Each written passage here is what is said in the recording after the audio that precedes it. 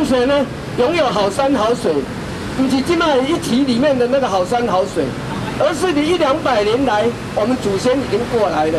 所以在这个期间里面呢，我们拥有很丰富的人文跟很多的历史。但是呢，这一次的那个很可惜，在整个的环评书里面呢，有很多地方一字都不提。我们那地方有举人墓，我们那地方有很多的那个历史古迹，我们那地方有很多的历史遗迹。可是，在环评书里面，他所疏漏的地方，我们今天会特特特别提出来。为什么这个环评书呢，会造成政府施政的这么大的错误？硬是要把淡水二期里面要把它夷为平地。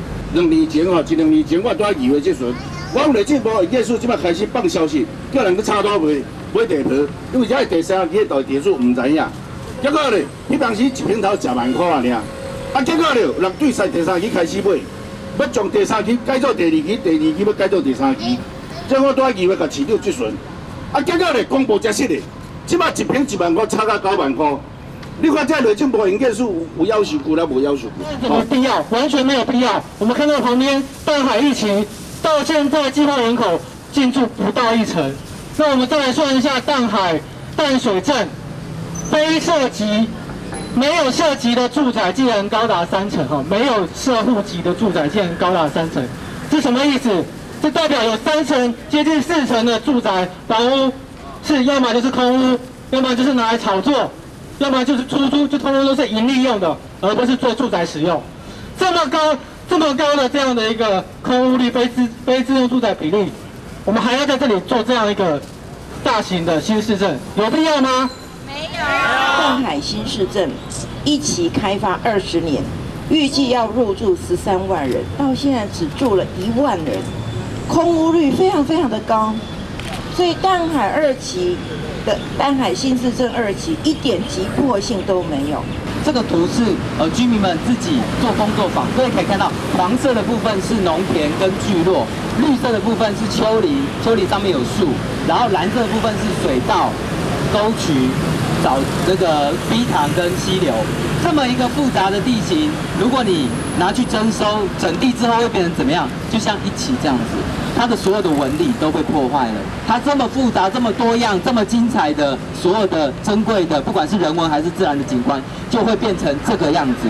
我想这个是大家都不想要看到的。可以看得到哈，这左上呃左边的这个高低差，对，是非常明显。所以二期一区的开发跟二期二区的开发都包含在今天的环评里面。可是呢，我们看这次提出来的环境影响评估，它在二区一期的部分呢。这里有提到开发计划以及后续的土地使用分区，可是这里完全没有，这里只做了现况调查。换句话说呢，将来这个二区的开发量体是怎么样？将来会对这里的环境造成什么影响？他这里没有提，他只做了现况调查，这就类似中科三期，他投过了。它这整体开发过了，可是后面要进驻什么样的开发内容没有讲。换句话说，这个环境影响评估只做了半套，所以我们要求这样子只做半套的环境影响评估应该退回去。台湾的环境影响评估长期有一个非常大的缺陷。如果大家了解环评，你可以看环评法的第四条，我们的环评在应该要包括。社会经济环境的面向，也就是环评，它是个整体的，它绝对不包含只是一些技术层面，水污染多少，土地污染、空气污染多少这些工程技术的一个啊层面。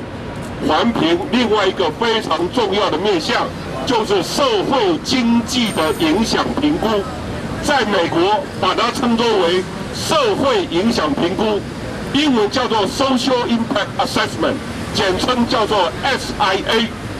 我们的环评法的第四条有 SIA 的一个规定，但是我们实际在运作，我们非常缺乏这个部分。退回横平，退回环评，抢救大海，抢救大海，不要投机房产，我要永续农村，我要永续农村。